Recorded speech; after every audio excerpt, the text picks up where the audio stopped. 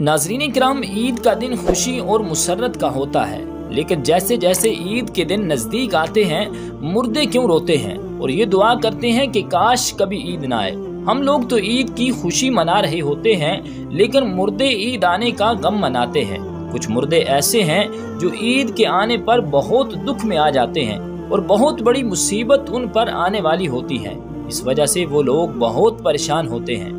आप सल्लल्लाहु अलैहि वसल्लम ने इरशाद फरमाया, अगर कोई शख्स रमज़ान के महीने में इंतकाल करता है तो उसके ऊपर आज़ाब नहीं होता और कब्र में उससे सवाल जवाब नहीं किए जाते। चाहे वो कितना भी गुनागार बंदा क्यों ना हो, रमज़ान में उसका इंतकाल हो जाए तो रमज़ान के महीने की बरकत उसको ये मिलती है कि रमज़ान भर ना उससे सवाल जवाब होते हैं और ना ही रमज़ान भर उस पर आज़ाब नाफिज किया जाता है। जैसा कि हदीस पाक का मफहूम है कि कब्र के अंदर मुर्दे के लिए जहन्नुम की खिड़की को खोल दिया जाता है और मुर्दा कब्र के अंदर जहन्नुम की तपश को महसूस करता है।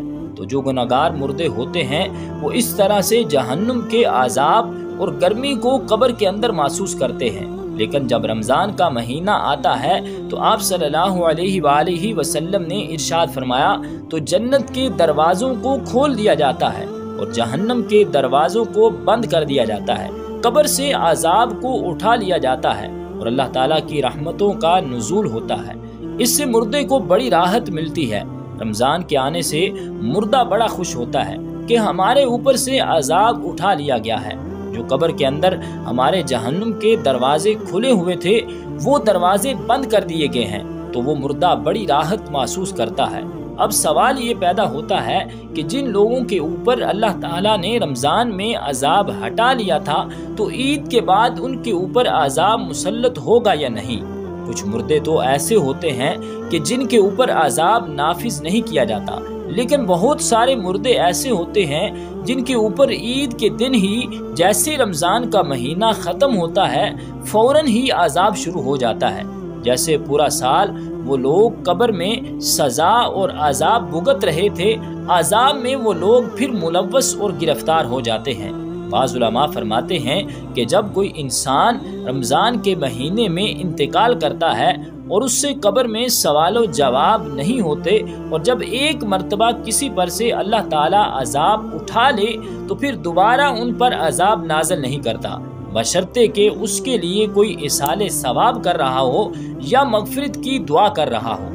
हर मुर्दे को उसके आमाल के मुताबिक सजा दी जाती है। जो नेक लोग हों, जिनको अल्लाह ताला ने काफ़ी कर दिया कि उनको दो, चार या छह महीने सजा हो गई, बस अब रमज़ान के गुजरने के बाद दोबारा उन पर आजाब नहीं होगा। लेकिन अगर कोई बहुत ज़्यादा गुनागार है, मसलन कोई ऐसा बंदा जिसका इस्लाम से कोई ताल्लुक नहीं है जो इस्लाम को जानते हुए भी इस्लाम को मानता नहीं था और कुफर शिरक का मुरतकब हुआ तो उस पर रमज़ान के बाद भी आज़ाब जारी रहेगा। नाजरीन कराम, जब रमज़ान का महीना ख़त्म होता है तो रमज़ान की बरकतें भी ख़त्म हो जाती हैं। शैतान को कैद से रिहा कर दिया जाता है। मुर्दों पर से रहम का मामला ख़त्म हो जाता है। जहन्नुम के दरवाजे जो बंद थे, वो रमज़ान के जाने से खोल दिए जाते हैं। इन सब बातों का मुर्दों को इल्म होता है कि कब रमज़ान शुरू हो रहा है और कब रमज़ान ख़त्म हो रहा है। तो रमज़ान के जाने से अहले कबूर सोचते हैं कि अब रमज़ान का महीना जा रहा है और फिर ईद जैसे ही आएगी, उसके बाद हम पर आजाब को फिर से मुसलत कर दिया जाएगा, जिसकी वजह से वो मुर्दे गमगीन हो जाते हैं और रोते हैं। रमज़ान भर तो मरहूमीन की ईद होती है कि उन पर आजाब नहीं होता। हम लोग रमज़ान के आखिरी अशरे में जब अपनी मगफरत की दुआएँ अल्लाह रब्बुल आलमीन से करते हैं तो फिर हमें अपने मरहूमीन के लिए भी ज़्यादा से ज़्यादा इसाल सवाब करना चाहिए। और सिर्फ़ अपने मरहूमीन के लिए नहीं, बल्कि तमाम उम्मत मुसलमा के लिए मगफरत की दुआ करनी चाहिए। तो जलाल, हम सबको अमल की तोफ़ी और हिम्मत अता फरमाए। आमीन। बेजाहिन नबी करीम अमीन।